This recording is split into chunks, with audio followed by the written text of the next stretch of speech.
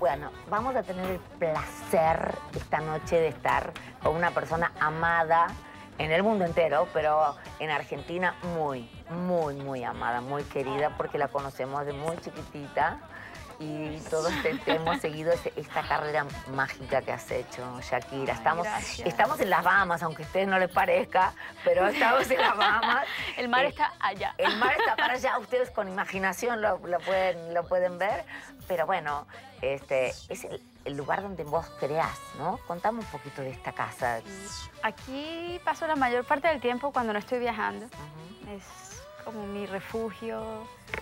Eh, es un lugar muy lindo porque la verdad que los bahamenses son Divinos. divinos, Y te son tratan- súper relajados, muy tranquilos. Yo aquí ando en pijamas, voy en pijamas al supermercado, ando descalza todo el día. O sea, yo soy del Caribe y me siento Claro. feliz en el Caribe. ¿Y ¿Encontraste vos este lugar? Eh, Sabes que empecé grabando aquí en un estudio de grabación que se llama Compass Point, Ujú. que es legendario, es un estudio donde grababa Bob Marley, donde Oh. grababa Led Zeppelin, The Cure, todas mis bandas favoritas. Entonces yo quise investigar un poco y vine a- precisamente a las Bahamas a grabar allí. Y allí hice varios de mis álbumes. Hice Laundry Service, servicio de lavandería, lo hice ahí. Ajá. Y eh, con cada nuevo álbum regresaba, regresaba, hasta que un día eh, decidimos eh, comprar una casa aquí y aquí eh, establecernos.